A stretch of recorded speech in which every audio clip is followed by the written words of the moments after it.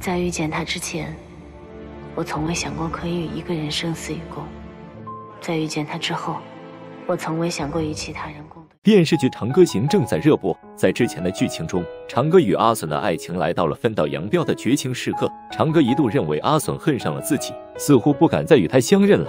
可说到阿隼，这个大猪蹄子很快后悔，发誓就算天涯海角也要再度找到长歌。此后，长歌与阿隼洛阳城多次擦肩而过，终于在好多追杀长歌的危难关头，阿笋一把将他拉开，二人大街上奔逃的画面莫名高甜。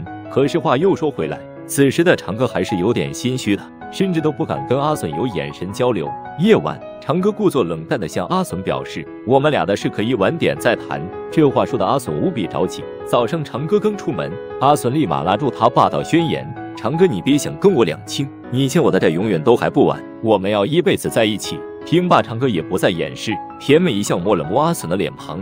故事的最后，长歌阿笋拉钩定终身，这画面要多美有多美！希望二人赶紧原地结婚才好啊！